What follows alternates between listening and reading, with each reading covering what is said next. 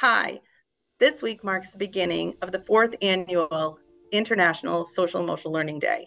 Schools and communities across the globe will be joining together to celebrate kind minds and connecting hearts. This year, the Maine Department of Education worked with schools and community partners across the state to share how they uniquely connect with youth, and they did not disappoint.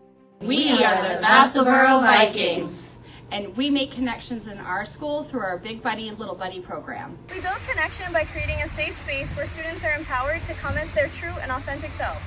And we meet them where they are, but we don't leave them where they're at. We do this by teaching them coping skills that allow them to recognize and regulate their own emotions so they can focus on what's truly important to them. In turn, they can use their skills to help their peers and build a stronger, more connected community. One way that she builds connection and this office builds connection in our school district is by making sure that when people come to their office, they've got candy and healthy snacks as well. We connect with kids on a daily basis with a smile and a warm welcoming. Our doors always open. I try to connect with my students on a day-to-day -day basis by having a consistent daily check-in with our students um, this check-in involves sitting in a circle with their classmates and sharing one good thing and one bad thing about their day. One of the ways that I build connection in our school community is by helping to run our school food pantry. By humor and being respectful to them and treat them like a human being. I connect with my students with sign language. We love to build connections with our students we're Team Altitude. One way that my school makes connections is we have activities such as homecoming, March Madness, holiday assemblies, and winter carnival, and then it makes Belfast Area High School a great place to be. One of the ways connection happens in my classroom is by engaging in fun activities such as Spirit Week. Through play. By sharing kind words. Through play and laughter. We like to connect with our students at 21st Century with social emotional leadership tools by way of financial literacy, career development, and a little cooking with a little chef with RD.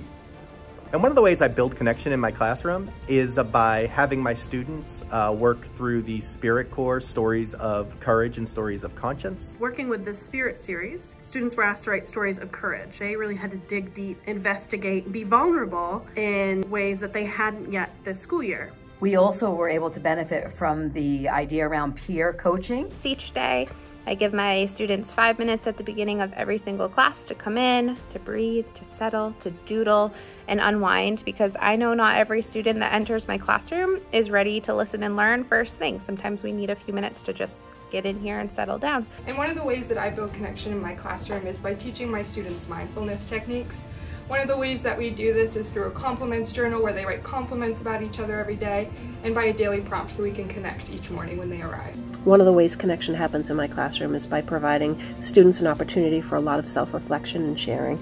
Through that sharing, we learn about one another, our similarities and our differences, and we learn to be respectful and kind by going to their classrooms and picking them up to come work with me in my space and returning them at the end of our lesson. Um, so I like to use that time to connect with them about their lives, things that are going on in school, outside of school, things that I can come back to the next week and check in on, and I like to draw their interest into our lessons. One of the ways that I create connection in my program is by getting to know each student as an individual.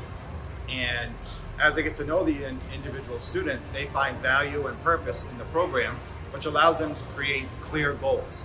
As they get to know their fellow classmates, they recognize shared goals with their classmates. And as they learn throughout the year, um, with a common goal, they become invested and they become connected to the program.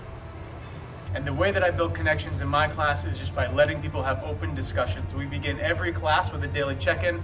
Uh, that question could be something class related or it could be something completely off the wall. And I let my students have the time to actually talk about the thing for as, as long as the conversation goes. At the beginning of the year, it's typically like 30 seconds. It's very awkward. But by the end of the year, sometimes we have like 20 minute discussions. We have developmentally appropriate mood meters in every classroom, school, and all the buildings in our district to help our students and our staff recognize, understand, label, and regulate their emotions. On behalf of the Maine Department of Education, happy International SEL Day.